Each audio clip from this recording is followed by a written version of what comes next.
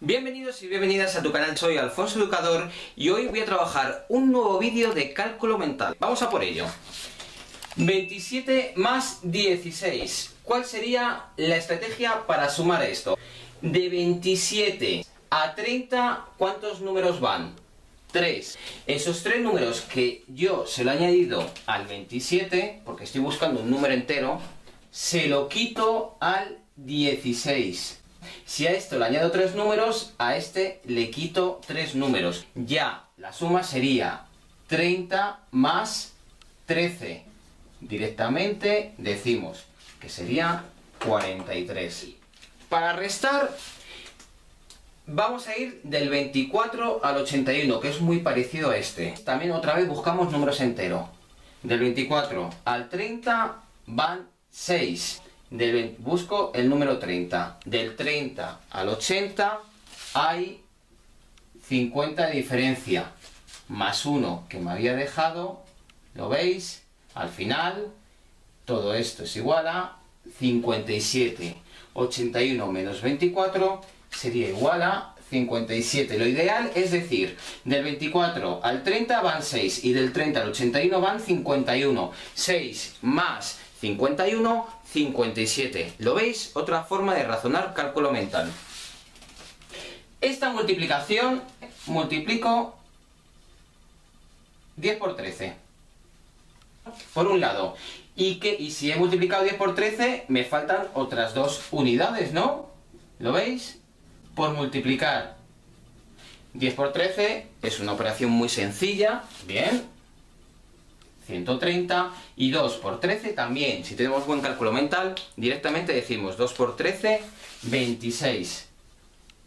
¿Lo veis? Y al final, ¿qué hacemos? Sumar 130 por un lado y 26 por otro, 156. Cuidado, tenemos que tener buen cálculo mental en el aspecto de saber multiplicar 10 por 13, que ya es el truco es 13 por 1, 13 y el 0 es el añado, y sobre todo saber bien multiplicar este tipo de operaciones, que yo estoy dando por hecho, ¿vale?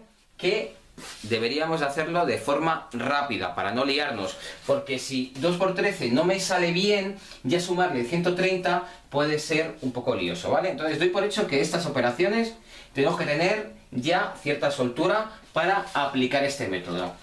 156 entre 2.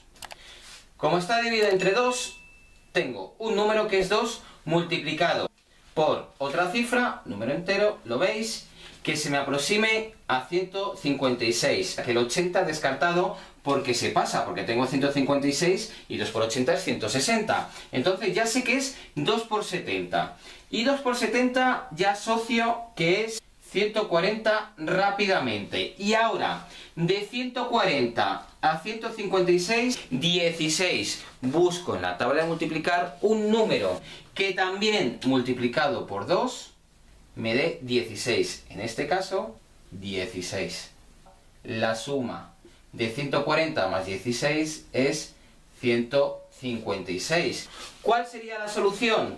Fijaros, la suma de este número y la suma de este número da 78 y esta sería la solución del ejercicio. Vuelvo a repetir, esto es otro método para hacer división de números entre dos. Y si alguien considera que tiene un buen método para hacer cálculo mental, por favor, escribe a través del canal y lo compartimos entre todos. Esto ha sido todo. Si tienes alguna duda, de todas formas, contacta conmigo. Si te gustó el vídeo, darle a like, por favor, compártelo. Y suscríbete para seguir recibiendo vídeos tan interesantes como este. Muchas gracias por estar ahí, muchas gracias por vuestras aportaciones y solicitudes para el canal. Y nos vemos en próximos vídeos. ¡A por ello!